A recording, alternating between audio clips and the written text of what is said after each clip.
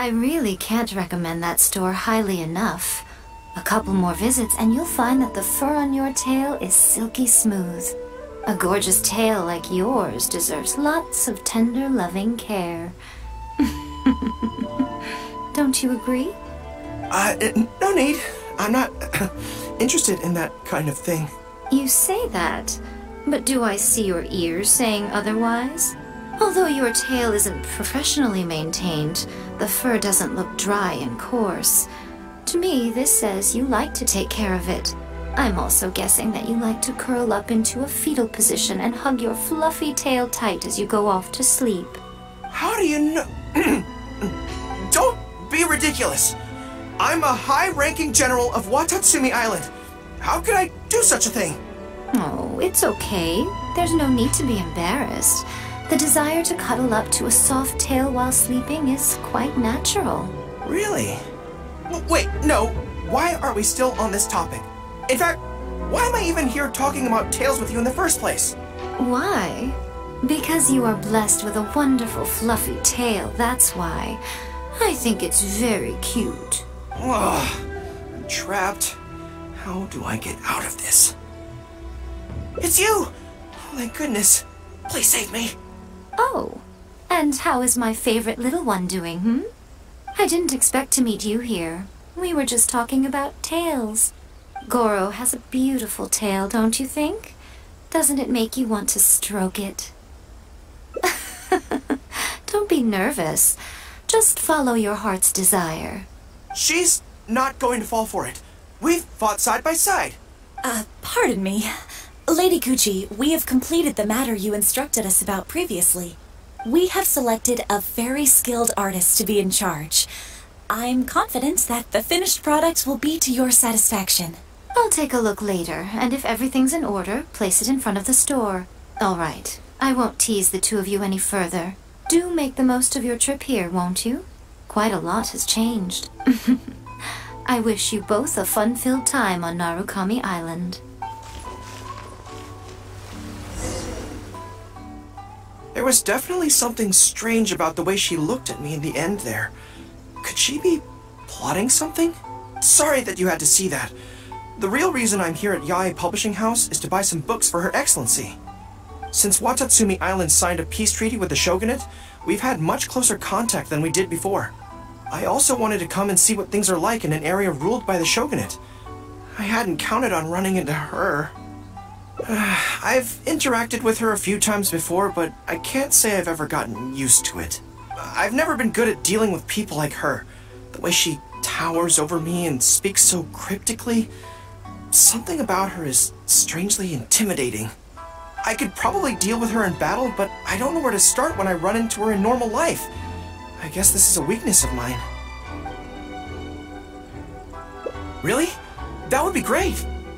To be honest, this is something that's always worried me. If the soldiers ever saw me in this kind of embarrassing situation, they'd be very disappointed. So, I have to overcome it, for their sake. As soon as I've worked through this, let's go take on Yae Miko again. first things first, though. Do you have any ideas on where to begin?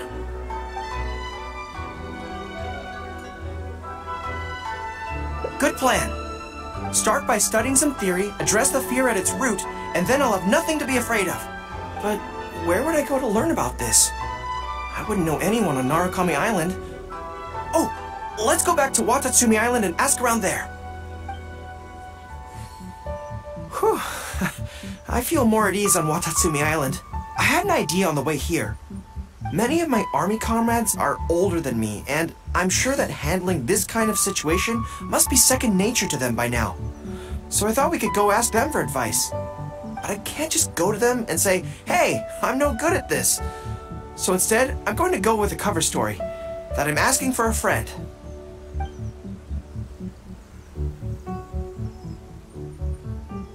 I see. So you're saying that your uh, your friend, sorry, is having some trouble with a certain someone who has an intense personality? Uh, it, yes.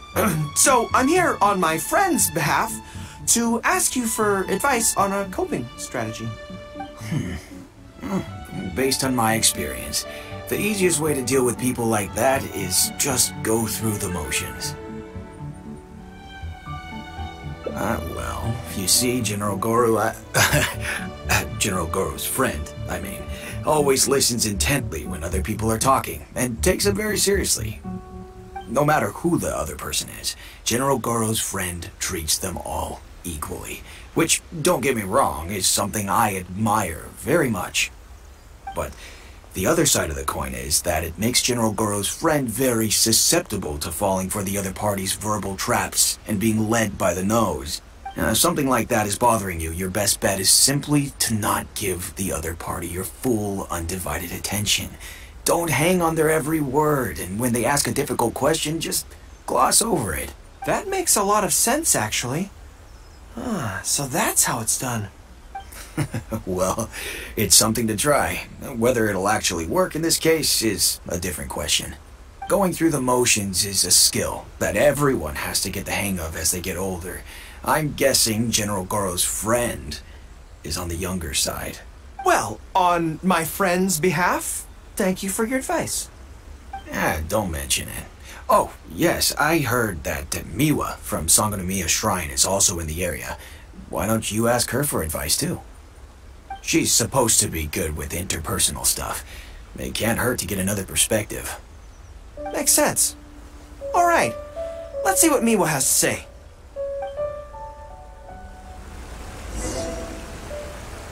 Most people who wish to have an audience with Her Excellency usually start by presenting their name cards and official documents to Miwa, who then passes them along. So I'm sure Miwa has lots of experience dealing with all kinds of people. Hopefully, she'll have some good ideas.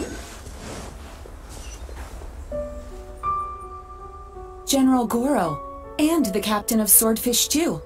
What are you doing here? We wanted to ask you about something.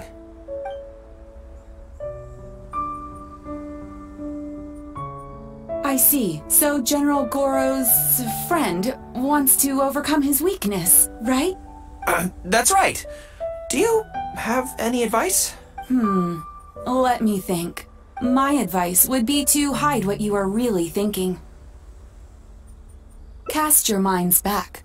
Why do you think Yae Miko was able to tease General Gorou's friend, and not the other way around? It's because she always has that same smile on her face, so no one ever knows what she's really thinking. She's already won the battle right from the start. If General Gorou's friend wants to go head on with her, he must at least learn to do as she does, to conceal the workings of his mind. Ah, you make so much sense. So what you're saying is, my friend just needs to keep his cool and she won't have the chance to take advantage of him. Exactly. Many things look complicated on the surface, but often, all it comes down to is who loses their cool first. Wonderful! You have my gratitude. I'm sure with your approach, that a friend of mine will be able to overcome his weakness. then I wish General Gorou's friend a great victory. Well, I'm slowly starting to gain confidence. Oh, I, I suddenly remembered. Her Excellency updated her general operational directives recently. Who knows? There may be some useful suggestions in there too. Let's go take a look.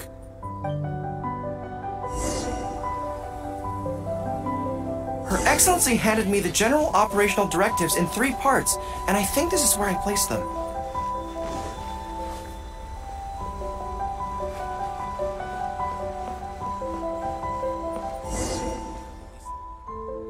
Let's see.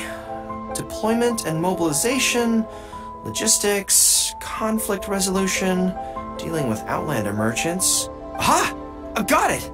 How to avoid awkward social situations. That's Her Excellency for you. She thinks of everything, doesn't she? Socializing is as important as a decisive battle. Know yourself and your enemy to succeed. Boy, if even Her Excellency treats this so seriously, then we'd really better be careful. What I take from this is it's not enough just to learn some general countermeasures. We need specific knowledge of Yae Miko's individual weaknesses to achieve ultimate victory. But how do we figure her out? Yae Publishing House.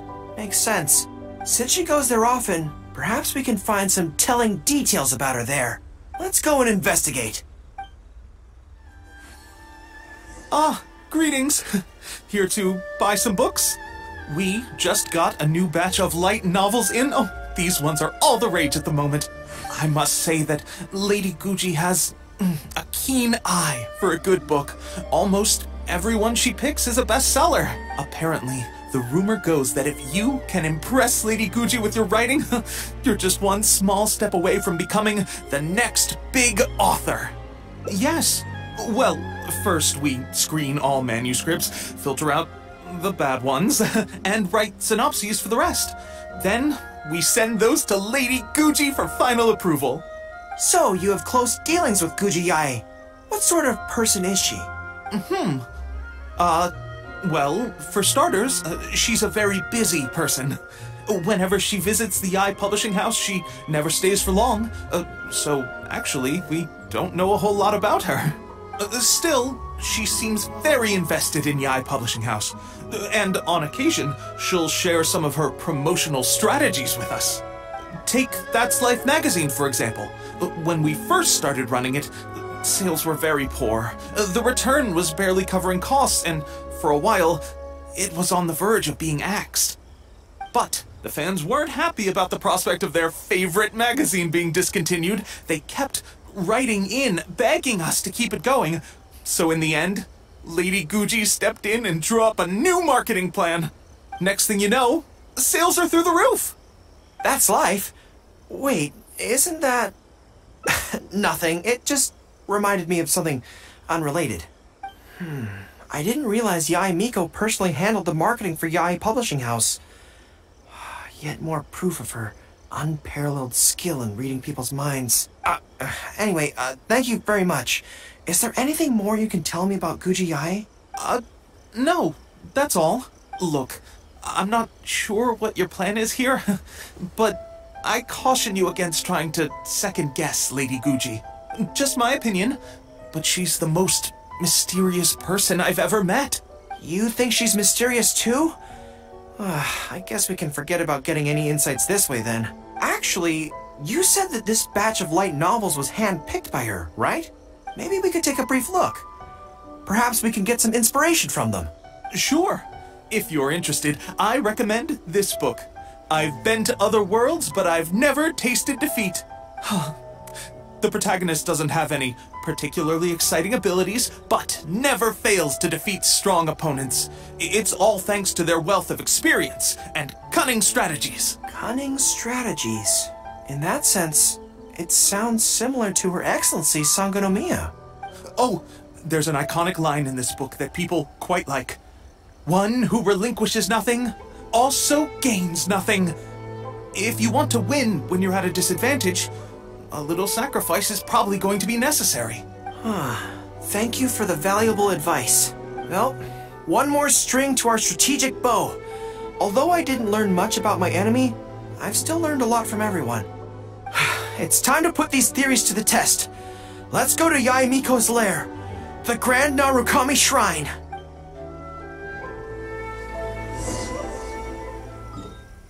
So this is the Grand Narukami Shrine. It's the first time I've been to this place. Hello there. You look like you have something weighing on your mind. Would you like to draw a fortune slip? The Grand Narukami Shrine's fortune slips have always been very accurate. I've heard that the generals of the past used to employ all sorts of divination techniques to find out their fortune before a battle. I'm not in the habit of it, but uh, since the opportunity's come up, I'd like to give it a try. Let's draw one together.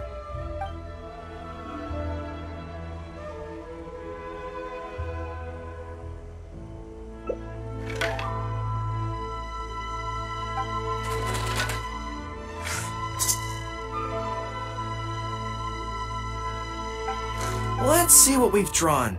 I. oh, It's great misfortune! Hold me. I don't feel so good. A trap? Are you saying that Yae Miko fears us and tried to sabotage our plans by making sure we drew a great misfortune? No knew she'd stoop so low. Well, I will not be intimidated.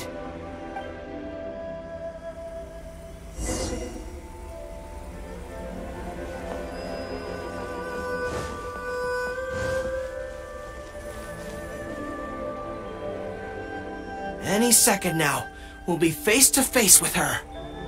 Don't worry, all our hard work is definitely going to pay off. She can forget about teasing me this time.